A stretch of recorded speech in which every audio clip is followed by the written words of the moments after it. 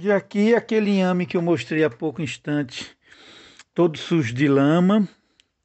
Né? Nós agora já trouxemos aqui para o tanque e demos aqui uma lavada nele, né? Olha, tudo isso aqui é olhinho para virar muda. Agora nós vamos descascar, tentando aproveitar um pouco esses óleos para plantio. Né? Se ainda aproveitar aqui, tem uns que vai, já estão bem maiores, né? Já é mais certo que vamos aproveitar para muda. Mas isso aqui, o meu interesse é descascar e comer, porque é uma delícia esse inhame de brejo.